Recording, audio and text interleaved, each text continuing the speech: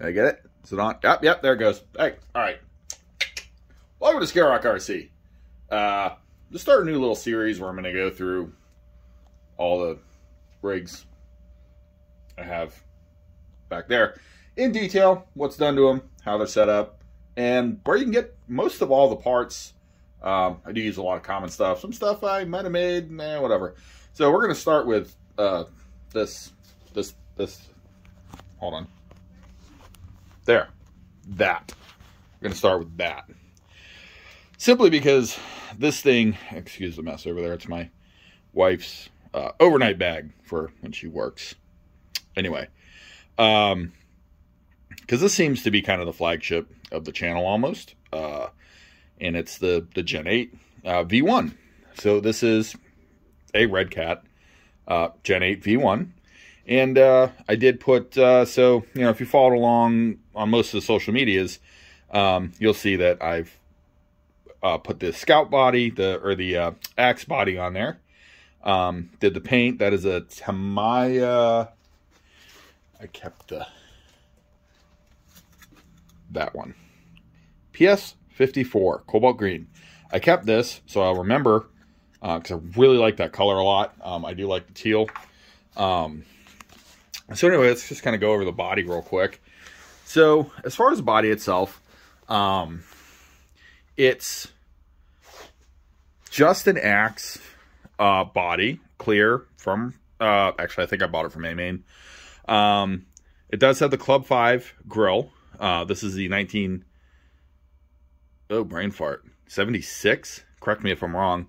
Um, the grill for it, 3D printed grill, um, that I went and, let me kind of come a little over here, went over with a little bit of chrome.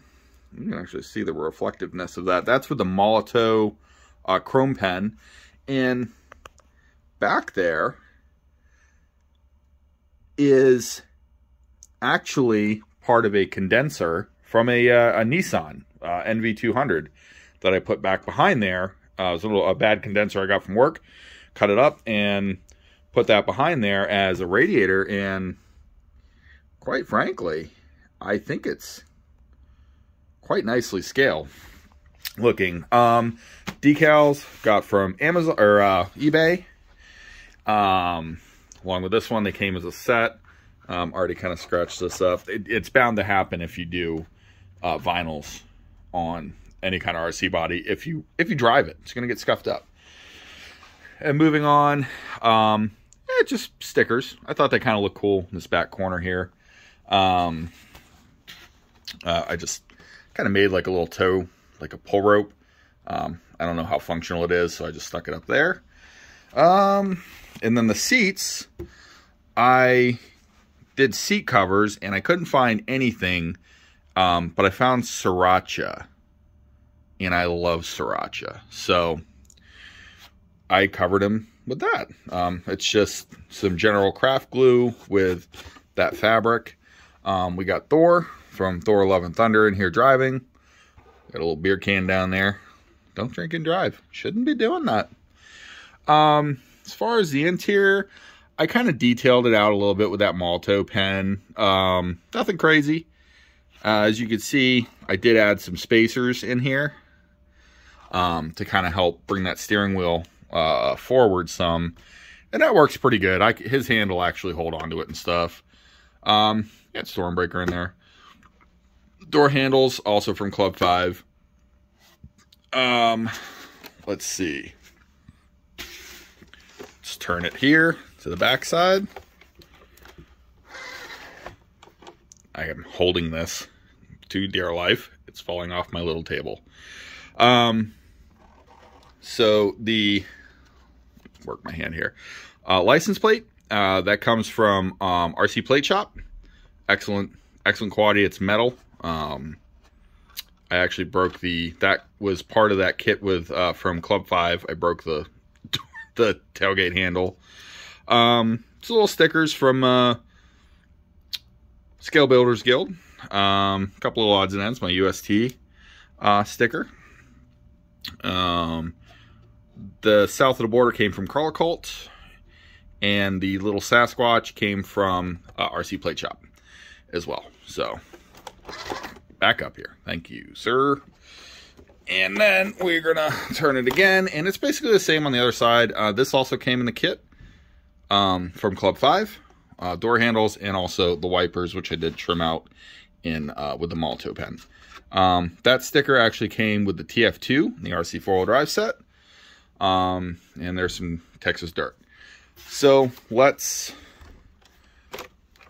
kind of flip this thing back around. I need better recording ability here.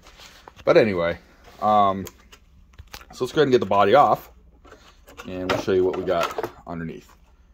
And it's attached, of course it's attached. Do, do, do, do, do, do. There we go. Okay. So as far as the body, um, flip it over. And um, it does have some magnets in here. Um, these are actually what I did as well as I took some of these little metric screws, put them downwards, uh, one on each corner, and drill the corresponding hole. And I use actually the factory uh, little center caps, and that just helps hold the body on because the body will still pop off if you do like a kind of a heavy rollover. Um, so I just did that for extra precaution. Um, the lighting kit here, uh, the controller is actually tucked up under this fender well. Um, this is a, that's a um, Attack RC uh, lighting kit. Um, and it is fully with reverse. It has reverse, brake, running lights. It goes and throws the hazards on if you let it sit too long, all that kind of stuff. And there's actually that that piece of condenser there. So um, you can see that on, and that's the body. And I just backed it with a little bit of white. Um, so as far as the body, that's that's pretty much that.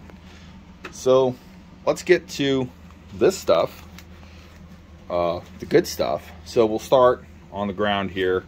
Um, this is a Hobbywing Fusion Pro 2300 kV. Um, and that's pretty much setting everything up. That's the power system, everything in one. This thing is excellent. I absolutely love it. Um, factory pinion gear. Um, I have taken apart and re-greased transmission, transfer case, all that stuff, but it's still factory. Um, plastic gears still to this day. This thing is now two years old, two plus years old. Oh, going on three years old, actually. Um, and that's been hanging in there great. Other than that, not much up here has changed. Um, still have the uh, stock bumpers, front and rear. Um, and that's that's that. That's it. Uh, there's nothing crazy about this. Um, as far as radio, uh, this one does uh, run this tactic, um, and it's hanging in there pretty well. So I'm just going to keep that on. It did, I did notice when I switched the batteries out, it started getting a little corrosion on one of the battery terminals under there. So when it's done, uh, I'll probably go up to the, uh, switch it over to the uh, DX5C, uh, the Spektrum. So let's flip it on its side, and you'll see that we have um, Proline Hyrax. These are the 4.75s, or I think they're 4.73 on the Treal uh, 1.9 beadlocks. Um, these you can get from Treal directly or on Amazon. Um, I really just think they work. They're kind of like a turbine style. Absolutely love it. Um, these Hyraxes uh, are not vented and we're still plenty squishy because um, this one I do tend to run into in, in some water. Um, I do run water on these, but these these wheels are quite stunning on this, to be honest. I really do enjoy that. Um, let's go to the servo, I guess, while we're up here. Um, this is just a, uh, is this the Flash Hobby? I think it's a Flash Hobby off Amazon. We've talked about this before on the channel. Um, I run these servos quite often. Um, I did set the BEC up on that. So this is, you know, it's a high voltage servo, 35 kilograms, really fast, really good servo um, for the money. I think, I think they're actually up to, I want to say 50 bucks ish right now. Um, but they're still, they're good servos, solid. I've never had any issues out of them. So, um, on the front here, we have the brass steering links. These are D-links. You can get them from RC Addicts or you can get them from AMain as well. Um, these are, I did a video on these C-hubs. They're just Amazon, I think they were 15, 20 bucks. And that's the factory axle housing. Um, back there, you can see I did put a slightly, just, just enough space. I think that's an 8 millimeter hex, just to clear that steering there. That is it. I didn't want to make it crazy wide or anything like that. Um, up underneath here, you can see that this is also a D-Link. This is the Panhard. Um, it ha it is the Delrin. Um, I actually got the brass and Delrin high clearance um, from D-Links. Um, this is a servo guard from KYX. This is available on Amazon as well. Um, and then up in here, I don't know if you really can tell, but this is the Bauhaus Panhard drop. Um, and that actually works really good to eliminate a lot of uh, the bump steer um, that the Gen 8 chassis in general does uh, experience. So moving on from there, let me just flip it upside down completely. And we'll get down here. So as you see, these are the brass straights. Um, definitely been rubbing them up pretty good. Um, Delrin uppers. So the uppers are Del Delrin, the lowers are brass. Um, factory drive shaft, factory drive shaft. Here's your high clearance here and here, and then the uh, uppers are high clearance as well. I'm going to show you what I actually did with these um, for the pinion angle. So, oh, we have some moss. Moss! That's from Texas. Um, anyway, so uh, I was doing a tug of war and um, completely exploded the rear diff, um, the factory one. So this is all Trio. Uh, they didn't have the black one in stock, so we got the silver one and then the black portal housings on the sides. And that's all Trio, factory gearing. Um, I should mention that this is factory as well. There's no underdrive, overdrive, none of that. Um, as far as the skids, the skid is still red, uh, still Redcat. Um, these are still Redcat. Most of this is actually still Redcat. Um, so now, what I want to show you a little bit here. Let's see if we can move this thing. There we go. All right. Is the where I've positioned the upper link. Technical difficulties, I dropped the camera. Anyway, so turn the flash on. Bong! Okay, so here's your upper link right here. So I have that set in the center. So you got three holes on the Gen 8. You can actually adjust the, uh, this is, Jesus, dirty. Why? Need to clean this thing. Anyway, so you can actually adjust this one, two, three to adjust your wheelbase. Um, and you'll notice that the uppers are in the lower or in the middle spot and the lowers I actually have set to this spot. And what that does is that sets this pinion angle. So normally, if you put that link here this pinion angle is actually going to be up and it's going to be kind of exposed. So right now, how I have this set, these the, the links actually protect the pinion and the drive shaft. Um, not to mention you get more straight on angles. Now that may be why I've never broken a drive shaft in this thing. Um, as far as shocks go, um, we have Desert Lizards. These are 100 millimeter and they are set on droop. So you know, this is it. This is ride height right here.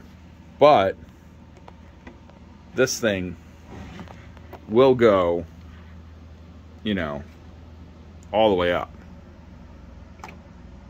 You know, that's that's the that's the travel that this truck does have.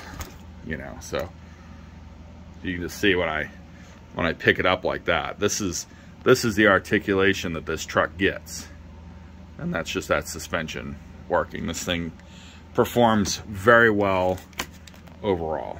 Turn the flash off, there we go. So, that's pretty much the Gen 8. Um, trying to think if I've left anything out. And I don't believe I have. Um, you know, this thing has been really good. Um, and even with, you know, when we when we articulate the front, I mean, look look at this. I mean, you're like and it's still still on the ground. There we go. So I mean, this is the kind of articulation that you can get um, with a proper or with a good droop setup. Um, this also really does keep the side hill. Um, side hill does very well with this setup. The only thing I want to upgrade um, personally is I'm going to check out Flub RC and get some of their uh, inserts for these tires. Other than that, because it does have quite a bit of side hill roll with the, with just the stock Proline form uh, foams, um, and that's kind of hinders me a little bit, but it still side hills quite well. Um, I think if we got a good insert in here, this thing would just be flawless. Um, but as you can see, the Gen 8 isn't insanely upgraded. Um, you know, this thing isn't. I mean, I got some money in it, but it's not insane. It's mainly the links. You got some brass here. Um, as far as the front axle, I will mention I'm kind of thinking of doing the Gen 9 front axle once I have any more issues out of this. For right now, it's fine. I'm the kind of guy if it's if it ain't broke, we ain't gonna fix it. Um, so, but I was thinking about doing a Gen 9 front axle just for that turning radius. Because right now, you it has just an awesome turning radius. However, this thing, when you do, when I do turn it to this angle, it will bind a little bit. Um, and what it'll do is it'll actually bind and try and wrap this front axle under itself and basically kind of like load up that suspension. And it it, it, when it does it on the rocks, the thing looks so funny because it just it looks like it just it it's bunched up. um, so I got to kind of back off it and let the suspension relax again. Um, so that's really the only driving downfall I have on this thing um, is that steering angle like that. Um, so I may adjust um, I would adjust that and do the Gen 9's uh, universal joint uh, front axle. So yeah, other than that, there you have it. It's a Gen 8. Um, yeah, there, that's it. You can have a very good, this is a very, very capable crawler, very capable truck. Um, it weighs with the body. I haven't weighed it, but I'm going to say it's in the good solid, probably 10 to 12 pound plus. I don't think it's quite at 15, but it's it's a stonky little boy here for sure. She, she's she's a stonky one. So um, anyway, with that said, that's going to be the first episode um, of the. This is my rigs as of right now, 2023, the year of this rig. Um, it will change, I'm sure. Um, you know, a little bit here and there. Like I said, the Flub RCs uh, once I get the Flub RC inserts, um, you got to pre-order them. They're kind of tough to get. Um, so once I get it, once they pop back up and I can get those, um, I'm going to do a review video of them. Probably take them down to uh, Paradise Crawl Zone, um, where you've seen some footage before as well. So with that said, thanks for watching. I'm going to actually, I'm to have you look at me like that. Yeah. Yeah. Face. Is that good? Probably. I have no idea whatever. But anyway, thanks for watching. Like and subscribe. Drop in the comments. What do you think of it? What do you think it, you know, anybody got any ideas on what to change on this thing? Because personally, I think it's, I think she's good. Um, so yeah, drop in the comments. Let me know what you want to see, what you like to see, what you don't want to see. And, uh, you know, hey, which, which one of these, these rigs do you want to see next? We got some stuff. Oh yeah, by the way, I'm gonna dig in my storage unit and maybe up on the top shelf, you might see the Baja 5T show its show its face again. So maybe might dig her out of storage and get some work in. So let me know which one of these doodles here you want to, you know, just see what uh, what's going on with these. I'm gonna do the Bronco next. Got actually quite a bit into this thing. So anyway, y'all have a great time RCN. Keep it fun. Keep it happy. Keep it chill. Have a great weekend. Go out, get dirty, and I'll see you on the next one.